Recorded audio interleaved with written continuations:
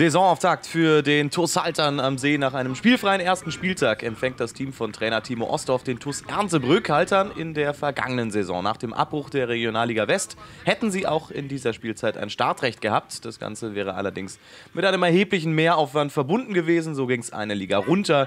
In der Oberliga Westfalen will das Team aus der Seestadt in den weißen Trikots nach dem Vorbild von Athletic Bilbao jetzt für Furore sorgen. Genau wie beim spanischen Club sollen alle Spieler aus der Region kommen schon jetzt sind es über drei Viertel.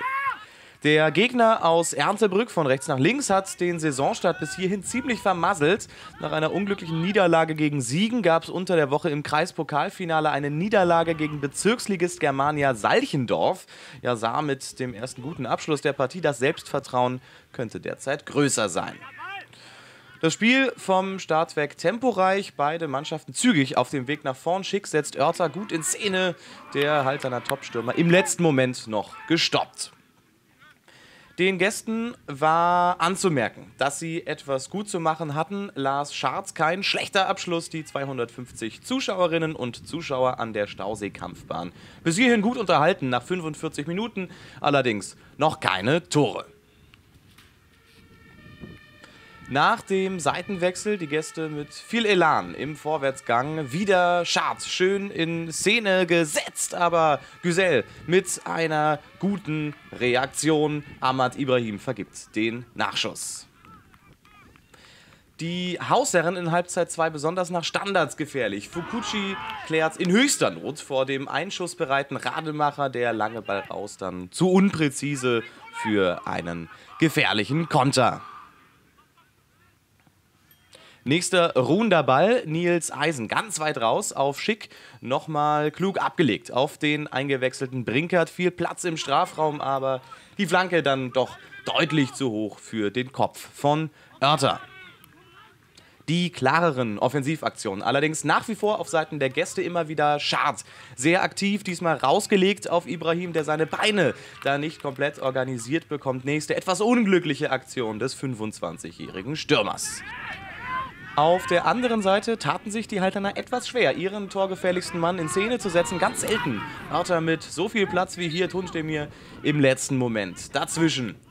Wenn was ging, dann nach wie vor meistens über Standards. Rademacher per Kopf und Jonas Brammen fischt den gerade so aus dem Eck. 80 Minuten gespielt, knapp. Brinkert mit sehr viel Raum im Mittelfeld nimmt Kaiser mit. Die Flanke die ist dann punktgenau. Oertel scheitert, aber Brinkert ist da. Räumt auf 1-0 Haltern. Patrick Brinkert in der vergangenen Woche noch für die zweite Mannschaft von Haltern auf dem Rasen belohnt sich für eine starke Joker-Performance. Er ist eines der Gesichter des neuen Halterner Wegs und zahlt das Vertrauen von seinem Coach Ostdorf sofort zurück. Die Flanke ist richtig gut, aber die Parade von Bramme, die ist eigentlich überragend. Brinkert aber, der läuft durch und steht dank Gold richtig.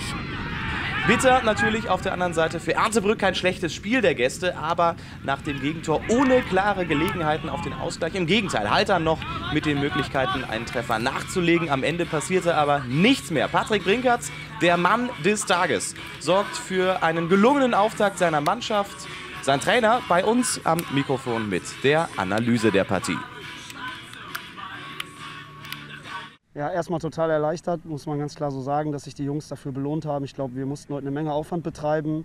Ähm, waren in der ersten Halbzeit mit ein paar Sachen nicht ganz so zufrieden. Die haben wir angesprochen. Passspiel im letzten Drittel, äh, Überzeugung im letzten Drittel. Und das haben wir in der zweiten Halbzeit deutlich besser gemacht. Haben immer dran geglaubt, haben immer wieder gepusht.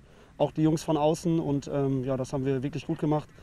Es wäre besser gewesen, wenn wir die eine oder andere Chance vielleicht noch ein bisschen früher genutzt hätten, aber alles in allem sehr, sehr stolz auf die Mannschaft.